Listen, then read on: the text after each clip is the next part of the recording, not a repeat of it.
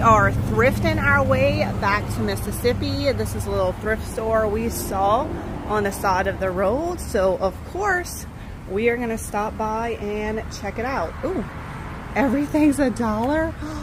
Look at the Avon dolls. I've never seen these before. Look at her. Okay, I'm for sure getting all of those. Clothes is a dollar. Stuffed animals. Do not resell for much. I just love them and I, if I find them at a good enough price, I do like to rescue them. Look, she's praying and then look, the little doll right here. I just think they're adorable. And when my kids were younger, I would put them in their room just as decor. All right, now we're inside. Let's see what the prices are like over here. $6. It does have a broken piece off. Here's a little statue.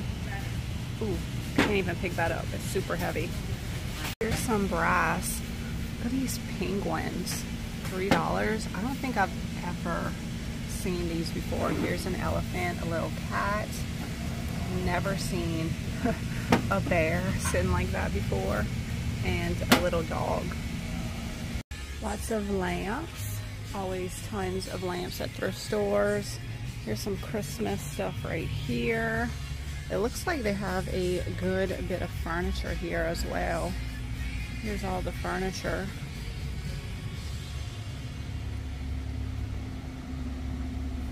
I see some more brass pieces. Ooh, that's cute. A little angel dish. It's $2. Here's a big leaf. It's not real brass. It is $12. I think I'm gonna get this. How cute she is. Here's a little Raggedy Ann doll, but I'm not sure why she's $25. And then this doll right here is $14. I don't know what that's about. Here's some Avon dolls. It's a bride and groom. It's $2 for these. We have a small little basket section right here. Oh, look, this one has handles on it. It's kind of wonky though. Let's see, it's $3 for this basket. This one's kind of wonky too. I don't see a price on this one. Lots of dishware and glasses, of course. See a little brass pitcher right here. It's $4 for this one.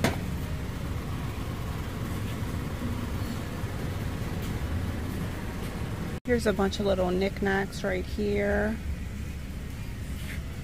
Amber glass jar, $5. Oh, here's a bunch of brass candlesticks. $10. See how much these are. I like the bottoms. These are $10 for the set of two. These are probably all $10 for the set of two. Oh, this one's $30 for the set of eight, so it must be all of this. Some more on this side. Do not see any more brass though. I love these glass globes with the dots and the swirls. I actually have these in my girl's closet. So if you have a basic, you know, light globe and you want to make it a little cute and a little girly, definitely be on the lookout for these at the thrift store. Let's check the books section real quick. Hardbacks are $2. Paperbacks are $1. Not really seeing any good vintage ones in here. But you always have to look. Never know what you're gonna find. They have a bunch of artwork over there some more furniture but I didn't really see anything. They have these three books right here. They're uh Hummel books so I'm not really interested in that Alright guys, I think I'm going to head out. All I'm going to get is these two Avon dolls. Other one like this, it had a piece that was broken, so I'm not going to get it. And I'm also going to get this little brass angel tree. I hope y'all enjoyed this thrifting adventure with me. If we pass another thrift store, I'll definitely be taking y'all along.